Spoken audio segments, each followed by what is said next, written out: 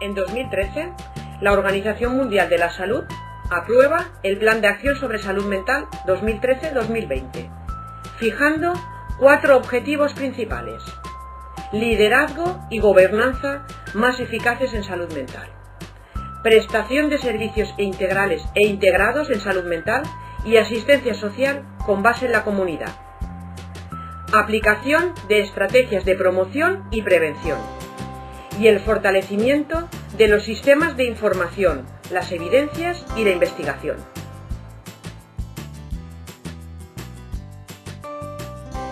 En nuestra comunidad, los objetivos marcados por dicho plan se asumen a través del cuarto Plan de Salud de la Comunidad Valenciana que apuesta por una reorientación y reorganización asistencial para el desarrollo de un modelo integral de atención a la salud mental, mediante la elaboración y puesta en marcha de programas transversales e interdisciplinares que garanticen la continuidad de cuidados y disminuyan la variabilidad entre los departamentos de salud. Necesitamos por parte de todas las personas que participamos en la salud mental dar una atención integral y no solo asistencial que nos asegure la cobertura de todas nuestras necesidades. Hay muchas maneras de enfrentar los problemas de salud mental y mejorar la vida de la gente. Para mí la fundamental es las decisiones políticas, la puesta en marcha de estrategias, planes y programas que puedan organizar mejor y generar una mejor atención y mejores servicios para las personas que sufren problemas de salud mental.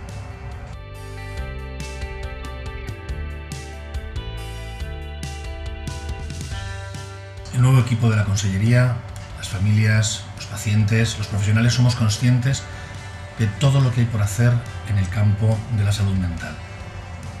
Para poder llevar a cabo eh, una adecuada estrategia, para poder ejecutar una mejora en los servicios de atención a las personas con problemas de salud mental, se crea una oficina como órgano responsable de ordenar todos los recursos que ahora mismo funcionan de forma dispersa o de forma descoordinada. Los magníficos profesionales que tenemos, la abundancia de recursos no coordinados y no adecuadamente organizados para responder a una demanda urgente, necesaria y en muchos casos dramática. Esa es la oficina, ese es su trabajo y su actuación tiene que venir guiada por la estrategia que hoy presentamos. Estamos en un momento para la salud mental que tras los análisis que hemos realizado creemos que es un momento de oportunidades. Pues ahora mismo tenemos a unos profesionales muy implicados y muy empoderados, a unos usuarios y familias muy implicadas y muy participativas, igual que el movimiento asociativo, tanto de usuarios y familiares como de sociedades científicas. Como psiquiatra y componente en la Sociedad de Psiquiatría, los dos aspectos más interesantes a resaltar en la estrategia de salud mental es primero la participación de 24 departamentos de salud analizando las vulnerabilidades y las fortalezas y sobre todo la coordinación multidisciplinar que hasta ahora en salud mental pues no ha sido posible y espero que con esta estrategia todos esperamos que con esta estrategia se vaya a conseguir el objetivo. Nos hemos encontrado una legislación obsoleta diferentes modelos de, gestión dependiendo de quién fuera el, responsable. Nos hemos encontrado eh, una ausencia fundamentalmente de prioridad política, de presencia en la agenda política de los problemas de salud mental. Esa es la transformación que tenemos que enfrentar.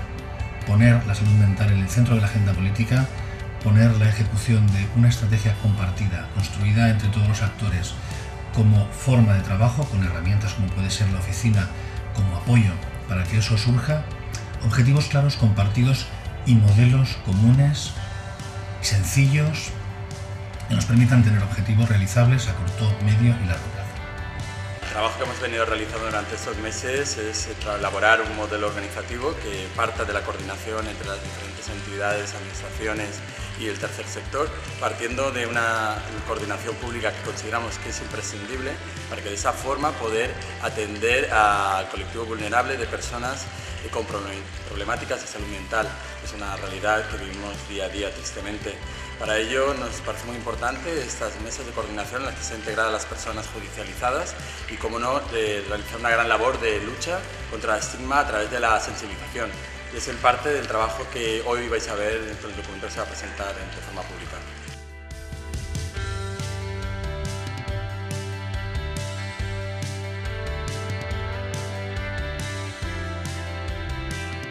Per a elaborar l'estratègia, el que hem fet és una revisió exhaustiva sobre la documentació bibliogràfica que hi ha sobre el tema.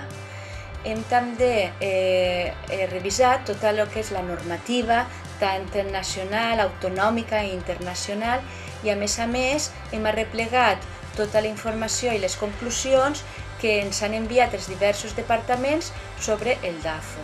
Amb tot això, el que hem fet és unes línies estratègiques i hem creat uns comitès d'expertos amb la funció d'elaborar uns continguts, objectius i accions sobre aquest tema.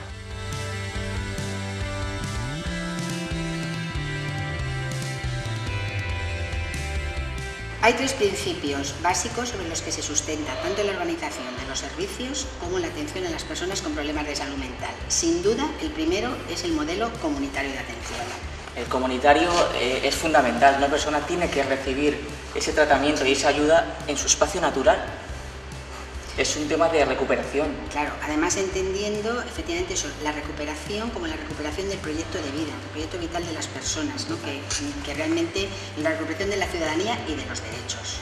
de los derechos como, como, como dice la Convención de la ONU, eh, la recuperación, que es algo que nos corresponde a todos, es cosa de todos. Efectivamente, ese es otro de los principios, es decir, la transversalidad. La, salud mental es algo transversal y además requiere la intervención intersectorial, es decir, en muchos sectores todos los implicados. Porque no solo salud, es, salud, es, empleo, es una vida digna, no solo es eh, la enfermedad. Es inclusión, inclusión social.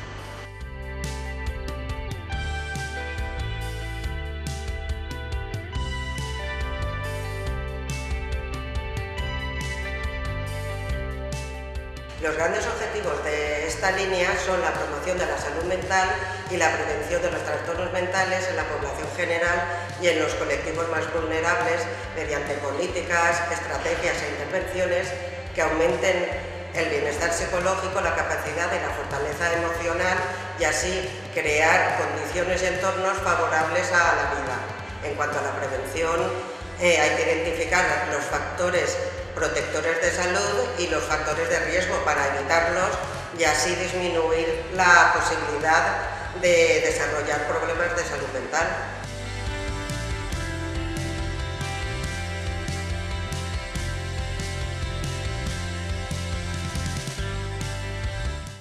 Salud mental para todas las edades, atención a los trastornos mentales comunes, abordar aquellos colectivos más desfavorecidos o de exclusión social, menores, violencia de género y tenemos que mejorar la calidad de la atención prestada y la protección de sus derechos. Y eso es fundamental dentro de la estrategia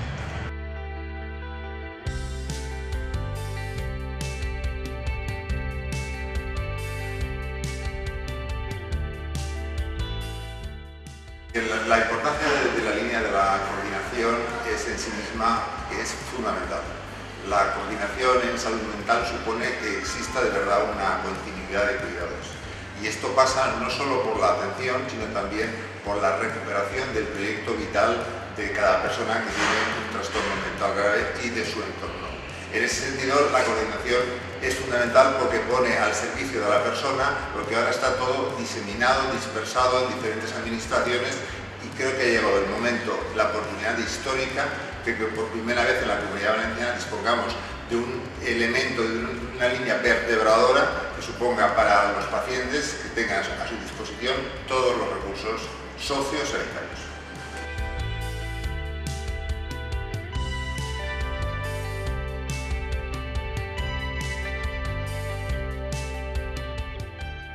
Personas con problemas de salud mental tenemos que empoderarnos para llegar a una toma de decisiones y con esta toma de decisiones llegar a tener los mismos derechos y las mismas obligaciones que las personas que no tienen problemas de salud mental.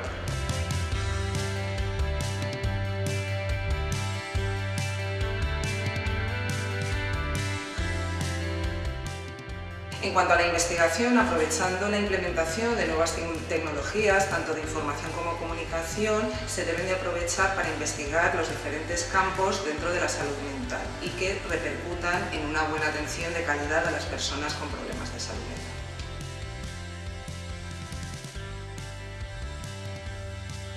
El documento de la Estrategia de Salud Mental de la Comunidad Valenciana no es una mera declaración de intenciones, es una herramienta fundamental, vital y muy dinámica y tiene por objetivo satisfacer todas las necesidades de tanto de los usuarios como de los familiares.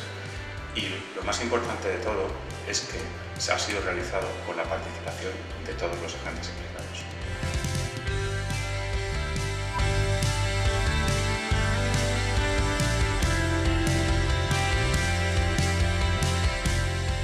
Integrada. Transversal. Comunitaria. Participativa. Empoderada. Multisectorial. De derechos. Como reto. En red. Con liderazgo. Con valentía. Cercana. De personas. Para las personas. La Estrategia de Salud Mental de la Comunidad Valenciana es un proyecto común, fruto de la participación de los usuarios, de los pacientes, de los familiares, de los profesionales sanitarios y de la Consellería de Sanidad Universal y Salud Pública. Su elaboración y su presentación tan solo es el primer paso. Ahora hay que recuperar mucho tiempo perdido. Sin salud mental no hay salud y ese es nuestro reto.